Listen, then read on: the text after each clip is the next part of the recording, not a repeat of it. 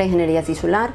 es una disciplina que intenta unificar los recursos de la ingeniería, de la biología celular, las necesidades clínicas. Y en nuestro caso concreto el objetivo principal del proyecto es el intentar desarrollar unos biomateriales que sean compatibles y que nos sirvan como moldes, como andamios, lo que en ingeniería tisular denominamos scaffolds, soportes,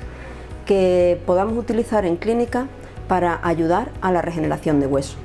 El objetivo de nuestro proyecto es el diseño y el perfeccionamiento de unos materiales mediante una tecnología que denominamos tecnología Sol-Gel, una tecnología que nos permite, o al menos intentamos reproducir, lo que sería la estructura tanto física como bioquímica como histológica del tejido óseo, de los armazones del tejido óseo, para permitir que las células formadoras de hueso sean capaces de colonizarlo, reproducirse, diferenciarse y formar hueso. Nos interesa también que sean soportes capaces de degradarse de una manera controlada en el tiempo, de manera que podamos implantarlo en el paciente,